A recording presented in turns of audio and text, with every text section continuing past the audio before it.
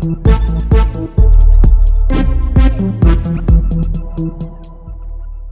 mi amor, nada. Lo único que pido es la justicia, nada más, mi amor. Yo me siento muy mal. Yo no sé vivir ahora sin él, no sé, no sé. Actor mexicano se rehúsa a cumplir su condena y prefiere dejar de existir este primero de mayo se realizará la próxima audiencia del caso del artista oriundo de Mazatlán que se lleva a cabo en la ciudad de Miami, en Estados Unidos, luego del altercado vial que protagonizó con el sexagenario de origen cubano Juan Ricardo Hernández, quien pereció días después del hecho.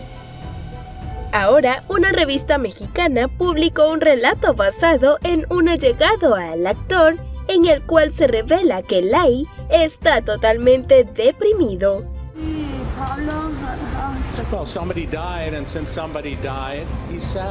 Además, la fuente compartió que a raíz de los resultados de la necropsia de Hernández, se determinó que este perdió la vida a causa del puñetazo que le propinó el sinaloense, por lo que la situación jurídica de él se vuelve más compleja.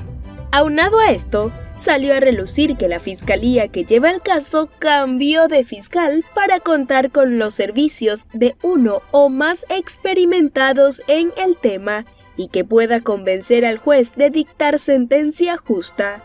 También se ha rumorado que el actor podría enfrentar cargos por homicidio involuntario u homicidio en segundo grado. Las felonías en el estado de la Florida se tienen que llevar a juicio dentro de 175 días.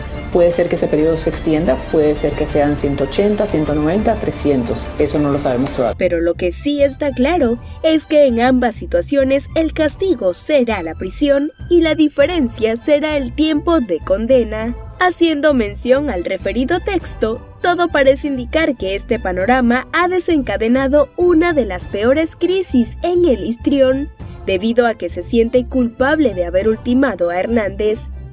En este sentido, la fuente también contó que Pablo siente total vergüenza de pensar que sus hijos podrían visitarlo en la cárcel, pues él siempre ha tratado de ser el mejor ejemplo.